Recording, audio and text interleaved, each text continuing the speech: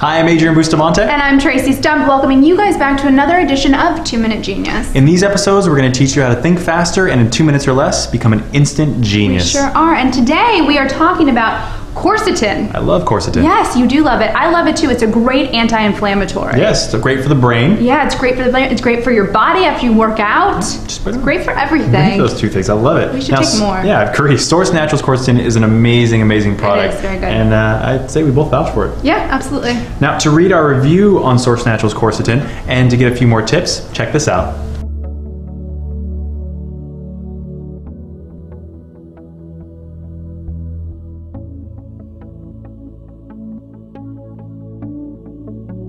Thanks as always to our sponsor, Excelerol. Thank you, Excelerol. My name is Adrian Bustamante. I'm Tracy Stump, reminding you to discover your two minute genius.